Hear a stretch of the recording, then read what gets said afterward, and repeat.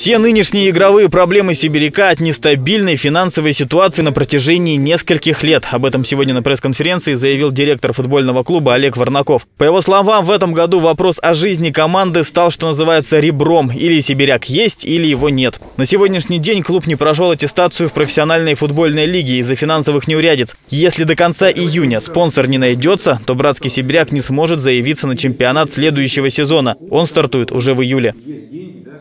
В июне месяце мы должны все предоставить, все документы, спонсорки, а, а, справки о закрытии задолженности за этот сезон. Они у нас существуют сейчас.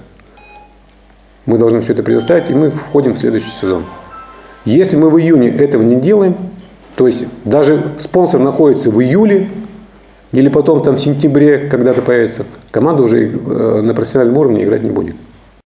На чемпионат Сибиряку нужно минимум 30 миллионов рублей. Как было заявлено на пресс-конференции, из городского бюджета команда финансироваться уже не будет. Гарантийные письма от администрации Братска футбольные чиновники уже не принимают. Выход один – искать спонсоров. Но пока нет информации о том, готов ли бизнес поддержать братский сибиряк.